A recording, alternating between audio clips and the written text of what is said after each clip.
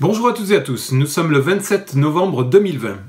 Dans cette vidéo, je vais répondre à Ouzouzé, qui a fait un commentaire sous ma vidéo euh, L'américanisation de la France, que je remets en lien ici, euh, afin que vous puissiez aller voir euh, notre conversation, et qui a dérivé sur le Frexit, si on veut, et si je t'ai bien compris, Ouz. Et donc dans cette vidéo, il va s'agir de pourquoi est-ce que l'Union Européenne ou, ou une Union Européenne est pertinente, pourquoi est-ce que le plan A, plan B de la France insoumise peut-être pas le leur, mais celui que je leur suggère euh, est pertinent, etc., etc. Donc tout de suite, rentrons dans le vif du sujet. Tu connais les modalités pour faire bouger les traités européens et le problème de l'unanimité des 27 États.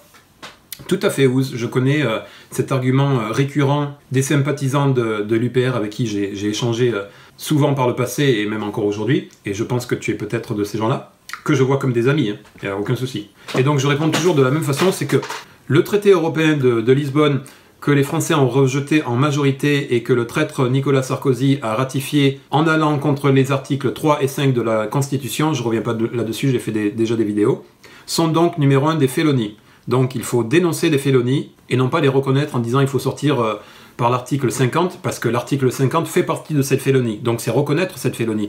On n'a pas besoin de l'article 50, il faut juste rejeter le traité de Lisbonne comme étant une félonie, un document nul et non avenu. Dénoncer, c'est un terme juridique, d'accord? Ça veut dire qu'il n'est pas légitime. Puisque le peuple l'a rejeté.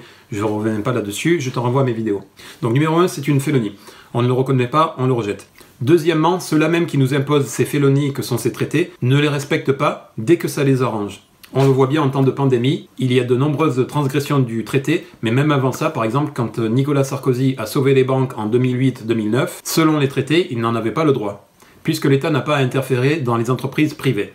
Et l'argument de dire que c'était nécessaire sinon tout se serait effondré est un argument de nos ennemis. Donc il ne faut pas le reprendre. Nous, de notre côté, on aurait justement dû dire vous avez fait n'importe quoi, ce système est à plat. C'est la bonne occasion pour faire un autre système, c'est-à-dire nationaliser le secteur bancaire par exemple. Ou en tout cas répudier les dettes privées, les dettes des banques, et ne pas faire de l'austérité, c'est-à-dire faire payer aux Français les bêtises de ces banques-là, banques privées. Donc voilà, le deuxième argument, après celui que ces, traités sont une félonie, c'est qu'eux-mêmes ne respectent pas leurs traités et ils se fichent complètement de l'unanimité pour aller à l'encontre du traité, d'accord? Unilatéralement, que ce soit l'Allemagne en ayant un excédent commercial qui est interdit par les traités, que ce soit euh, la France en sauvant les banques, le système bancaire privé, etc. Donc dès que ça les arrange, ils vont contre ces traités et ils se fichent de l'unanimité. Ce que je veux dire par là, c'est que les lois, si elles sont imposées contre la volonté du peuple, sont illégitimes, et si elles ne servent pas l'intérêt et que ceux-là même qui les ont imposées ne les respectent pas, elles sont d'autant moins légitimes. Voilà pour cette première partie. Puis tu dis, donc personnellement, je trouve que changer l'Union Européenne comme le plan A l'espère me paraît impossible. Alors non, justement parce que dans la, négociation plan A, on peut se servir du fait que ceux-là même qui nous imposent le traité de Lisbonne l'ont maintes fois transgressé selon les besoins. Donc ça veut dire à minima que ce traité est mal fichu, puisqu'il ne répond pas à des situations euh, de crise ou des situations d'urgence. Donc il faut le réécrire au minimum. Puis tu dis, Charles de Gaulle n'a pas réussi à le faire alors que c'était l'Europe des six et la France pesait beaucoup beaucoup plus. Euh, alors, ok, d'accord. Mais si la France pèse beaucoup beaucoup moins, donc aujourd'hui, c'est aussi à cause de la politique antilibérale des Sarkozy, Hollande, Macron et compagnie. Et même Chirac avant ça, et même si on veut euh, Mitterrand, etc. D'accord?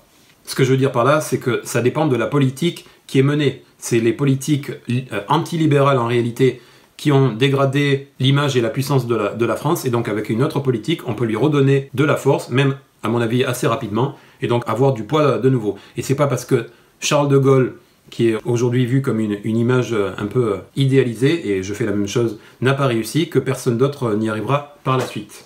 Donc tu dis, alors permets-moi de douter de la crédibilité du plan A. Bien sûr, tu as le droit d'en douter, mais je t'explique pourquoi est-ce que, à mon avis, ce doute n'est pas fondé. Puis, comme il n'y a rien de bien dans l'Union européenne, il faudrait en plus que le plan A puisse faire table rase. Là, ça devient à mes yeux pire que de la science F-fiction. FI pour euh, la France insoumise. Euh, très joli euh, jeu de mots, je dois le reconnaître. Oui, effectivement, tu as raison, la tâche va être très importante parce qu'il ne suffit pas simplement de renégocier, mais la renégociation doit amener à quelque chose de très différent de cette Union européenne antilibérale. Et euh, au cas où tu n'aurais pas vu mes précédentes vidéos, quand je dis antilibéral, je fais référence au libéralisme historique, celui de la Révolution française, qui reconnaît donc les droits des individus, les droits et les devoirs. Même si à titre personnel, et je l'ai dit dans une vidéo, je ne suis pas libéral, je suis post-libéral. Mais je te renvoie à cette vidéo. Quoi qu'il en soit, en tout cas, cette Union européenne-là est antilibérale puisqu'elle se fiche de la liberté des peuples. Et donc oui, il faut lutter contre ça. On peut aussi euh, décider d'en sortir, évidemment, mais moi je suis pour la bataille. Parce que je ne suis pas pour reculer à chaque fois qu'on a une difficulté, aussi grande soit-elle. Continuons. Puis, combien de temps sera perdu pour tenter cette voie sans espoir? Pour moi, le décompte a déjà commencé depuis des décennies en faisant croire à l'option changer l'Union européenne. Je trouve que c'est abuser de la naïveté et de la méconnaissance des Français sur la réelle possibilité que ça aboutisse. Encore un temps précieux perdu pendant lequel les Français auraient pu et ou pourraient trouver des solutions plus réalistes. Mais dénoncer le traité de Lisbonne sur les articles 3 et 5 de l'anticonstitution, si je parle comme euh, Étienne Chouard, donc constitution qu'il faudra réécrire par le peuple, ça nous défait du traité de Lisbonne, d'accord? Puisqu'on le répudie, ce traité. Donc, dans l'intervalle de la renégociation vers un autre traité, éventuel, si on n'y arrive pas, donc plan B, on sort, eh bien, on applique le programme de la France insoumise. Donc, on n'est pas obligé d'attendre. Ça se fait en parallèle. En parallèle, on dénonce, on sort de ce traité-là, et donc on applique de suite, dès l'arrivée au pouvoir, un programme démocratique, social, environnemental, etc. Et la négociation se fait en parallèle, peu importe quel en sera le résultat. Il n'y a donc pas de temps de perdu. Je continue. Je ne parle même pas du plan B, qui est aussi de la science-fiction, car c'est tiré des plans sur la comète, ne sachant pas comment sera la situation suite à la tentative du plan A. Alors, euh, je ne comprends pas trop bien cet argument, parce que gouverner, c'est prévoir, donc il faut quand même avoir des objectifs. Comme je te l'ai dit, L'un des objectifs, à côté de la renégociation, c'est d'appliquer le programme de la France insoumise, donc retrouver une souveraineté, notamment par la réécriture de la Constitution, ce qui est dans le programme. Et puis je répète, quel que soit le résultat de la négociation dans le cadre du plan A, soit c'est on a obtenu ce qu'on veut, c'est-à-dire une bifurcation de la politique de l'Union européenne, de l'antilibéralisme, vers une Union européenne démocratique, sociale, environnementale, etc. Et donc on est en concordance avec le programme qui est de toute façon déjà appliqué, soit ce n'est pas le cas et donc on sort de cette Union européenne, mais il n'y a eu aucun temps de perdu et aucune incidence sur le fait d'appliquer tout de suite le programme. Ceci pour répondre à cela. Je trouve que l'avenir en commun ressemble à un plat de spaghettis pas très clair qui serait un chemin semé d'embûches. Euh, d'accord, c'est ton opinion, moi je le trouve relativement clair, même si, je te l'accorde, il y a des points à éclaircir, notamment, et j'ai posé la question dans une vidéo précédente, comment se constitue cette constituante qui doit réécrire la Constitution? Est-ce qu'elle est tirée au sort? Est-ce qu'elle est élue? Est-ce qu'elle est en partie tirée au sort, en partie élue? Etc.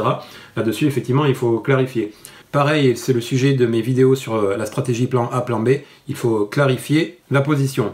Sur tout le reste, je pense que c'est quand même relativement clair. Ensuite, puis selon les responsables de la France insoumise que l'on écoute, cela change. Preuve pour moi que ça ne sent pas bon du tout niveau crédibilité. Ok, je t'accorde ceci, à eux d'avoir un discours cohérent et uniforme. Avis donc à la France insoumise, si vous voulez être clair pour 2022. Ensuite, pour ce qui est de refonder une autre Union européenne, je ne comprends pas cette obsession. Pourquoi vouloir à tout prix créer une organisation supranationale? Très bonne question. Et alors, justement, le but ici n'est pas de créer une organisation supranationale. Supranationale, ça veut dire qu'il y a un pouvoir au-dessus de la nation. Pas du tout, puisqu'on veut justement réécrire la Constitution qui doit notamment permettre d'instituer le RIC, le référendum d'initiative citoyenne, donc c'est-à-dire de donner un réel pouvoir au peuple de décision, voire d'instaurer un RIC constituant permanent, c'est-à-dire de pouvoir réécrire la Constitution à chaque fois qu'on trouve qu'il y a un problème, en passant par le référendum d'initiative citoyenne, ça, ce sont des propositions qui sont sur la table. Ce ne sont pas que les propositions euh, de la France insoumise, mais il y a tout un tas d'initiatives citoyennes qui vont dans le sens de euh, faire de la France une véritable démocratie. Donc je le répète, le but n'est pas au travers d'une Union européenne de déléguer le pouvoir à cette institution. Si tu veux, ça serait un peu comme une fédération, d'accord? Chaque État de l'Union européenne est souverain, mais l'Union européenne sert à nous coordonner à chaque fois que c'est possible. Par exemple, pour des politiques environnementales qui par définition ont besoin d'une autre échelle que simplement locale. Euh, locale, c'est-à-dire nationale. Il faut au moins que ça soit au niveau d'un continent pour que ça commence à avoir un effet. Mais donc ce que je veux dire par là, c'est qu'il faut arrêter de penser que l'Union européenne a un pouvoir sur les nations. Ce sont les nations qui ont le pouvoir sur leur territoire, et l'Union européenne, comme les Nations Unies par exemple, si tu veux, c'est une instance de dialogue qui n'abolit pas les souverainetés nationales, mais qui doit permettre des coordinations des politiques communes. Quand c'est pas possible, eh bien, euh, les États appliquent leur politique euh, locale à l'échelle de la nation. Tu continues en disant pourquoi ne pas laisser les États s'entendre en toute liberté? Mais l'Union européenne actuelle ne permet pas aux États de s'entendre en toute liberté. Je suis d'accord, puisqu'elle est anti-libérale. Mais j'ai l'impression, en particulier chez les sympathisants de l'UPR, que vous essentialisez cette Union européenne comme étant la seule possible. Or, ce n'est pas parce que cette Union européenne-là est antilibérale que toute Union européenne est par définition, par nature, antilibérale.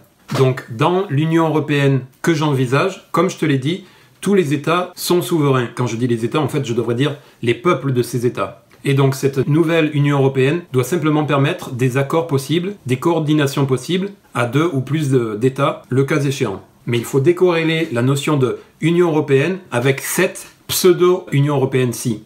C'est pour ça, je ne sais pas si euh, je l'ai fait avec toi, mais quand j'écris Union européenne, enfin UE, j'écris toujours le U en minuscule et le E en majuscule. Parce que ce n'est pas réellement une union. C'est comme d'habitude, on inverse le sens des mots. Euh, on n'est pas en démocratie, on dit qu'on est en démocratie, on dit que le libéralisme, c'est en fait euh, l'égoïsme des antilibéraux euh, qui ont le pouvoir, etc. Donc il faut remettre les choses en endroit. Une réelle union européenne, ce n'est pas l'antinomie qu'ils en font. Ou alors ça, c'est l'union des anti-libéraux européens, en fait, si tu veux. Je continue à te lire. Donc tu proposes par exemple par des accords bilatéraux. Bien sûr, mais même en étant dans une Union européenne, si on veut faire des accords bilatéraux ou multilatéraux, que ce soit au sein de l'Union européenne avec certains États et pas tous, ou que ce soit en dehors de l'Union européenne, comme c'est d'ailleurs déjà le cas aujourd'hui, avec des accords avec les États-Unis, avec euh, l'Asie, etc., on peut le faire. Le fait de construire une Union européenne ne signifie pas que tous les accords doivent se faire dans le cadre de cette Union européenne. Cette Union européenne doit favoriser une coordination des États européens, mais elle ne dit rien sur la possibilité de chacun de ces États de faire des accords entre eux, avec euh, l'extérieur, etc. Tu poursuis en disant L'histoire nous prouve que cela fonctionne bien, donc ces accords bilatéraux, et l'union des peuples que tu cites ne va pas de pair avec une Union européenne. Je ne vois pas pourquoi la France devrait s'unir politiquement avec des Grecs, Polonais ou Estoniens plutôt qu'avec des Marocains, Canadiens ou Japonais, Suisses, Sénégalais, etc. Explique-moi pourquoi on devrait faire ça. On peut très bien s'entendre entre nations comme des grands. Alors là encore, tu essentialises l'Union européenne actuelle comme la seule possible. C'est ça un des grands torts de, l'UPR à mon avis. Parce que tu dis, l'histoire nous prouve que cela fonctionne bien et l'Union européenne que tu cites ne va pas de pair avec une Union européenne. Non, tu devrais dire avec cette Union européenne. Parce qu'en toute logique, si on utilise le mot union dans son sens véritable, alors oui, une Union européenne véritable va de pair avec l'union des peuples. C'est juste logique. Mais là, ce qui se passe, cette Union européenne-ci, c'est l'union des antilibéraux. Et j'ai l'impression que vous n'arrivez pas à dépasser cette réalité. Ou alors c'est que ça cache un autre agenda, c'est-à-dire que vous ne voulez d'aucune union. Mais dans ce cas-là, il vaut mieux le dire clairement et ne pas utiliser cette situation pour dire que c'est la seule possible et que l'alternative c'est de sortir de toute idée d'union. Là, ça serait plus clair. Ensuite, pourquoi est-ce que la France devrait s'unir politiquement avec des Grecs, Polonais, Estoniens plutôt qu'avec des Marocains, Canadiens ou Japonais, Sénégalais, etc. Encore une fois, ce n'est pas parce qu'on on fait un projet dans un sens que ça exclut les autres sens. D'ailleurs, dès à présent, la France qui est dans l'Union européenne a aussi des accords bilatéraux ou multilatéraux avec d'autres nations en dehors du cadre de l'Union européenne. Un instant, mon chien veut sortir. Donc la politique d'une Union européenne euh, véritable n'est pas exclusive, c'est-à-dire on fait comme si et pas autrement. Puisque je le rappelle, de toute façon, les États membres sont souverains, les peuples de ces États membres sont souverains. Pourquoi est-ce qu'on fait euh, une union politique avec les gens autour de nous? Parce que justement, ils sont autour de nous. Il y a une certaine proximité déjà géographique, et puis, malgré ce qu'on en dit, culturelle, plus proche qu'avec par exemple les Japonais où je suis. Mais il me semble que l'Union européenne a signé un accord avec euh, le Japon tout récemment, donc dans le cadre antidémocratique actuel, on fait déjà des accords avec euh, des nations extérieures à l'Union européenne. Donc dans une véritable Union européenne démocratique de peuples indépendants, la coordination des peuples alentours n'empêchera pas d'établir des coordinations avec euh, d'autres entités nationales extérieures à l'Europe. Mais si tu veux, c'est comme une, première étape logique. On va d'abord trouver des unions, des coordinations avec les gens qui sont autour de nous avant d'aller plus loin. Mais euh, c'est qu'une première étape donc quand les peuples auront récupéré leur souveraineté, on pourra s'entendre entre nous pour nous coordonner sur certaines politiques, idéalement un maximum, tout en étant capable individuellement, c'est-à-dire chaque nation ou en groupe de nations, de faire des, échanges, des coordinations avec des entités euh, canadiennes, japonaises, etc., en dehors de, de l'Union européenne. L'un n'est pas contradictoire avec l'autre. Enfin, tu termines en disant, et les histoires de zones économiques, pour moi, ça ne vaut rien du tout. Les Suisses défendent beaucoup mieux leurs intérêts que la France. Alors l'argument de la Suisse, j'entends. Mais ça n'a rien à voir avec l'Union européenne. Même si on était en dehors de l'Union européenne, des gens comme Sarkozy, Hollande, Macron, etc., ne défendent pas l'intérêt de la France, qu'on soit dedans ou en dehors, puisqu'ils ont de toute façon la même idéologie. Donc ce n'est pas l'Union européenne qui leur impose cette politique, c'est eux qui diffusent cette politique dans l'Union européenne et qui utilisent donc ce carcan pour dire bien il faut appliquer ces politiques si tu veux. Tu vois, c'est comme ça que ça marche. Donc la Suisse, ce n'est pas parce qu'elle est hors de l'Union européenne qu'elle peut protéger ses intérêts. C'est simplement parce que ses dirigeants sont patriotes, si tu veux. Et donc encore une fois, dans l'Union véritable européenne qu'il s'agit d'instituer, Premièrement, il faut donner aux Français euh, le pouvoir souverain, c'est-à-dire réécrire la Constitution et instituer des choses comme le RIC qui leur permettra de participer activement à la politique, c'est-à-dire l'organisation de la société. Et donc une fois qu'on a institué le pouvoir du peuple, nous pourrons, si nous le voulons, s'il y a une majorité de Français pour le vouloir, façonner cette Union européenne dans laquelle tous les peuples conservent leur souveraineté et s'entendent dans des traités bilatéraux, multilatéraux, enfin en tout cas dans une coordination plus large.